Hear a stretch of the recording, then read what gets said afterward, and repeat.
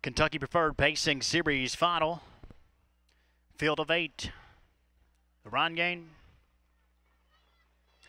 And they're off. Rock of Luck was chased away from the outside. Stiltner had him on uh, go, and it's Rock of Luck who quickly sprints out to the lead. My Roberto step past Springhouse Rebel as they move in that opening uh, turn. It's a length and a half back to uh, Daggy, who is uh, fourth. Pat's Shooter is still caught wide in the fifth spot. Hoosier Shooter came away in uh, sixth in front of Master Jeeves. The Trellerbus smoke rings as they race around that opening turn.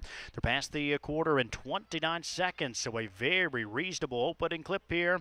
Rock of Luck calls the shots up top for Stiltner. He's looking for his fourth win of the program. My Roberto, two lengths back in second. Tough trip here for Pat Shooter, who appears to have found a spot in long-term parking. He's still caught wide in third with Springhouse Rebel.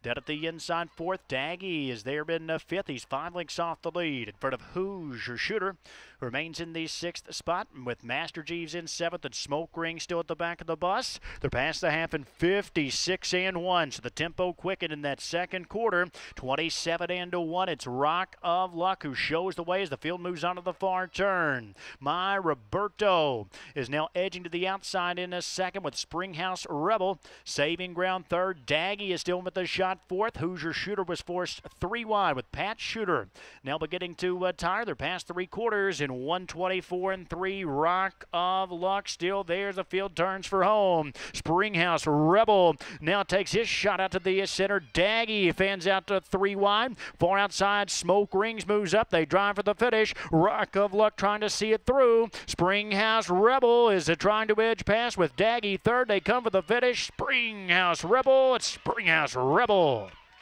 Wedges past Rock of Luck to take it. Daggy finished in third. Smoke Rings was fourth in 152 and 3.